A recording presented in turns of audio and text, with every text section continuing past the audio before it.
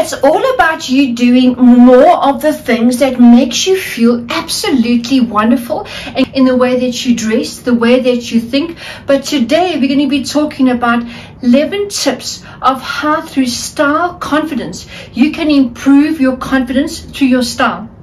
Part of your confidence and your style is connected with the way that you dress. Every day when you wake up, every day when you get dressed, it's almost like a ritual. Makes you feel good, makes you feel confident. What does that do? That is already setting the stage for the day. It's, it's about shifting yourself out of the old into the new, from being unstuck to absolutely unstoppable.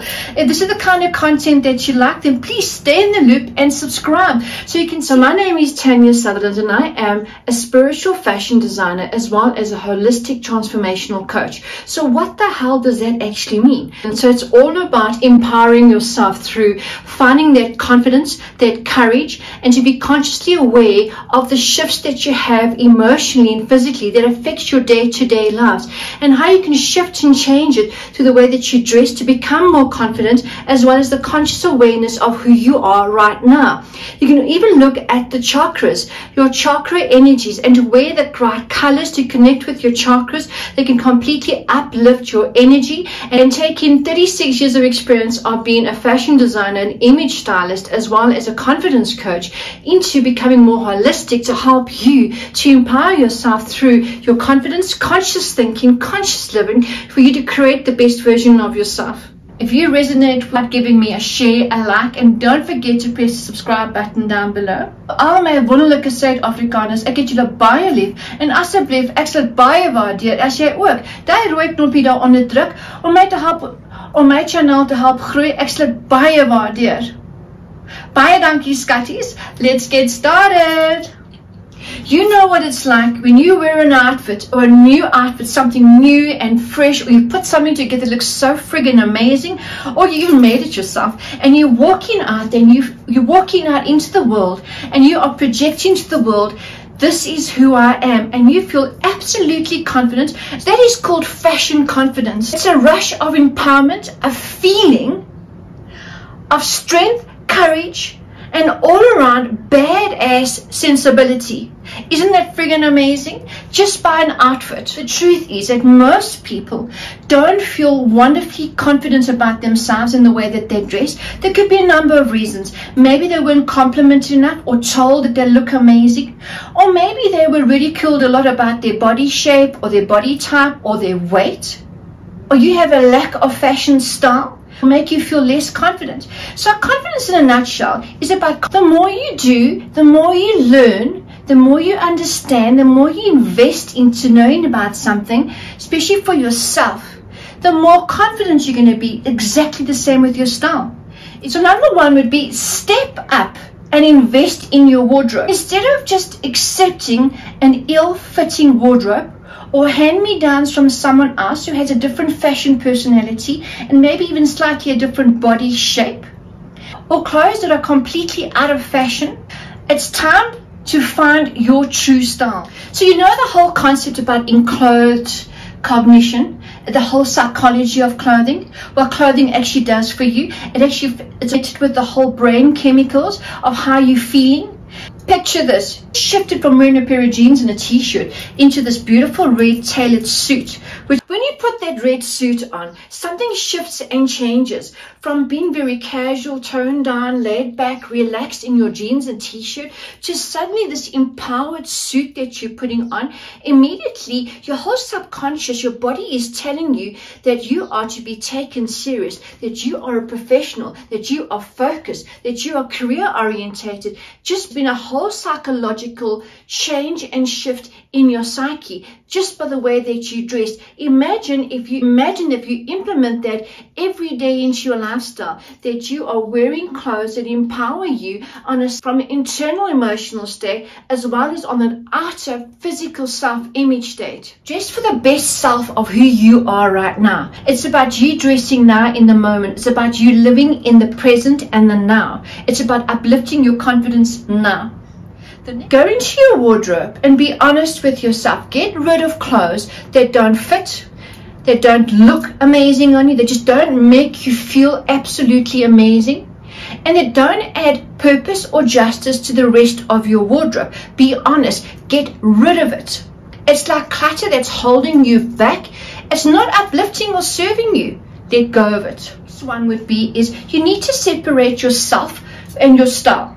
So you might not be happy with your body shape.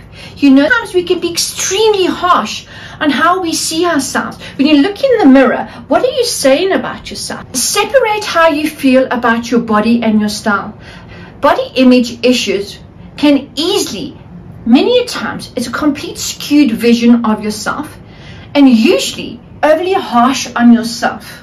It's about learning to love yourself where you are right now appreciating your body as it is right now. Working on it on a daily basis can give you that extra confidence knowing that you are taking small little steps of actions every day to improve your body by diet.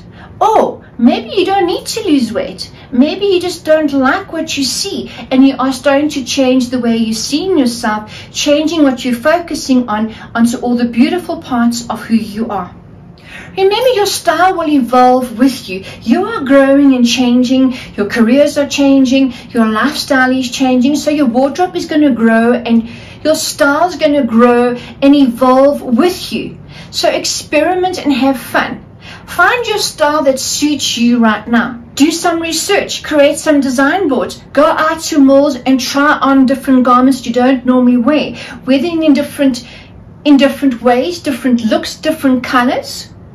Take some photographs. It's about a research. It's about self-investing in your style as well as the, and confidence will give you that extra courage for you to take on so much more, to create so much more, for you stepping in to becoming that best version of yourself.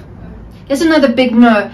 So what you should avoid is to try and dress like someone else. So kind of avoid buying exactly what your favorite influencer wears. You might have different personality, body shape, lifestyle, all those things that's happening around her. And does it really suit you? Be honest. It's not just about what you've seen. This is what I want to wear. It's about does it really suit you? Is it really who you are? Buy and invest styles that suit you. There's nothing wrong with getting inspiration don't be afraid to expand your horizons around the style. So let's say you're a very sporty kind of person, but you want to sort of change it and make it a bit more vibey, or you want to add some change to it. What about taking sporty and adding a bit of chic to it? Or maybe you like a little bit of bit of bohemian as well as a little bit of a classic sort of look together because you want to combine some pieces. You're going through a different phase or you're stepping into a new lifestyle, into a new career line which calls for more dressy, more vibey, and now you want to step out of the way that you've always dressed. Try new trends. Create your own style evolution. It is part of your life journey. Stepping into your wardrobe, creating these new sort of trends and looks, see what you have, and create three different outfits in those combinations that you have and see if they work for you. Take some photos.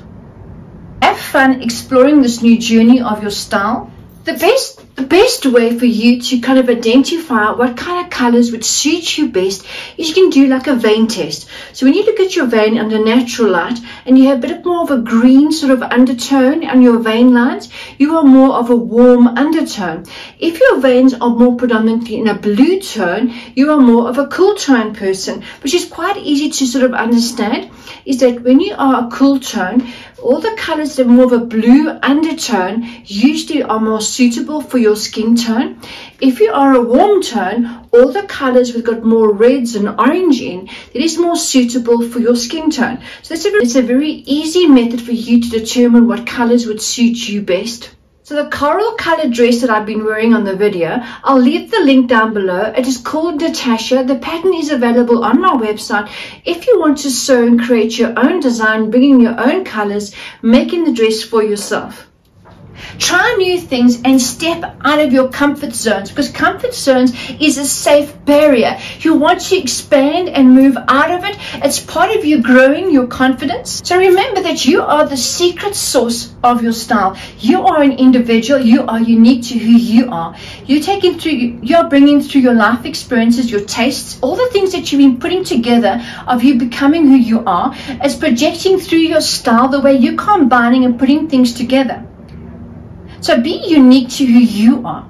But there's nothing wrong with getting inspiration, having a look how other people put things together, and take a little bit of this, a little bit of that, and combine it into your style. But like I said, try create those different looks within your wardrobe and once you know they suit you and you're having fun with them nothing stops you from creating an intentional shopping list to go buy more of those pieces more of those colors and designs to actually combine into your wardrobe or to create that intentional list of what you're going to be making up for yourself if you design and make your own clothes like I do.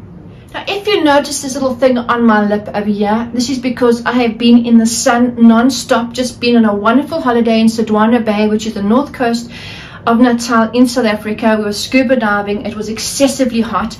And of course, my system's a little bit run down because the school has been busy with creating new content and new courses and new books and creating entire new collection, which will be coming up soon. You'll see all the shifts and changes and all things I'll be launching coming up, all part of my transformation. Me and yes, me stepping out of my comfort zones as well. And maybe sometimes trying to do a little bit too much and exerting myself because I get so excited.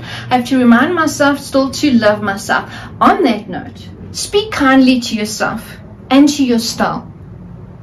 When you are trying a whole new look and you look at yourself in the mirror and you go, can I really pull this off? You know, what am I trying to do? This is not me. But you're trying something new and you feel inside your gut feeling you want to try something exciting. You kind of like this look. You've tried it on in the mall. You took some photographs. Now you're actually going to walk out the door and you're starting to like panic. Instead, say to yourself, I'm so friggin' proud of you that you've actually taken this shift, this change to try something new and to step out and be bold and to be true to who you are in something new. It's about you opening up that subconscious state of mind that I am ready to take on new things. That comes from your spiritual self going out into the way that you're dressing. It's all about connecting on the inner as well as the outer. Let your style, which is in your wardrobe, be your strength and your superpowers. You're stepping out into the world. Because remember, what you are wearing, clothing and style, is extension of your personality. So it is saying so many words without you even whispering a sound. Let's step back into color psychology. I'll leave the link below. I'll leave the link down below of the other videos I did all about color psychology. So color psychology goes deep. We can even talk about your chakras. All those different chakras that could be blocked by wearing those colors will actually uplift your energies as well.